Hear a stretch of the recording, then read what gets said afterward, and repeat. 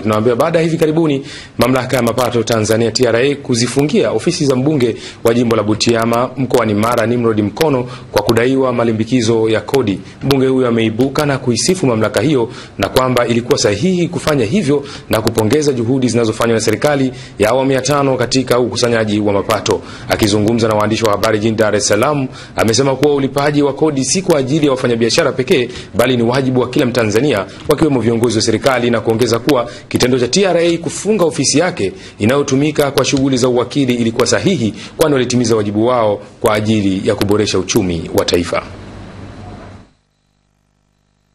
Lipeni kodi, uwe large taxpayer, small taxpayer, wote tuna thamani kwa nchi yetu. Nachukua nafasi hii kwaomba ndugu zangu ni pamoja na mimi ambao mlighadhibika sana kusikia. Duka limefungwa kwa aibu sana, na pengine wateja pia walirudi.